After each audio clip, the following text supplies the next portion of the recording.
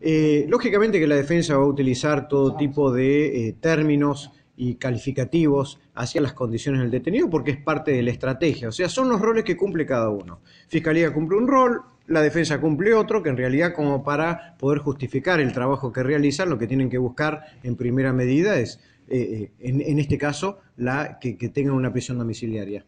Pero en realidad no es que el juez Diviase, por lo que me informó la secretaria general de gobierno, que fue quien participó, estableció que tenga prisión domiciliaria de hora en más.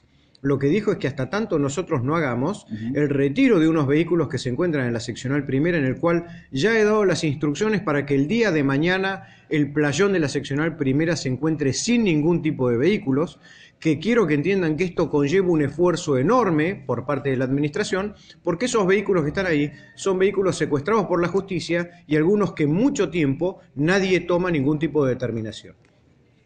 Para el día de mañana yo espero tener absolutamente limpio y volver a presentarnos como para que estas prisiones domiciliarias que ha dado el juez Diviase eh, eh, por este lapso de tiempo, hasta tanto limpiemos el patio, puedan ser revocadas y que vuelvan a estar dentro de lo que es la seccional primera, primera de policía. ¿Se ha fijado un tope de, internos en la comisaría primera? Le pregunto porque hablaban de seis y ella era la, séptima. Sí, pero ¿sabe, ¿sabe qué pasa? Yo creo que acá hay una pérdida de, eh, la realidad que estamos viviendo en, en la provincia del Chubut.